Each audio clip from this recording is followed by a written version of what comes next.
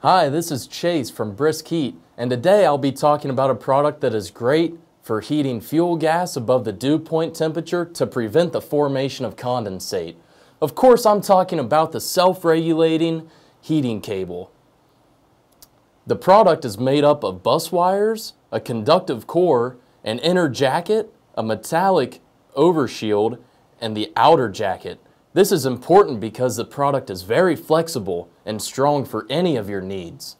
Some more uses of this product include freeze protection, roof and gutter de-icing, snow melting systems, and low temperature process maintenance. A great feature of this product is that it can be cut to length and terminated in the field.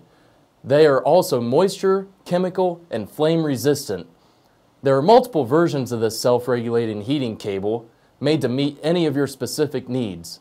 You can find these different versions on our website at briskheat.com under heating cables, or you can click the link in the description.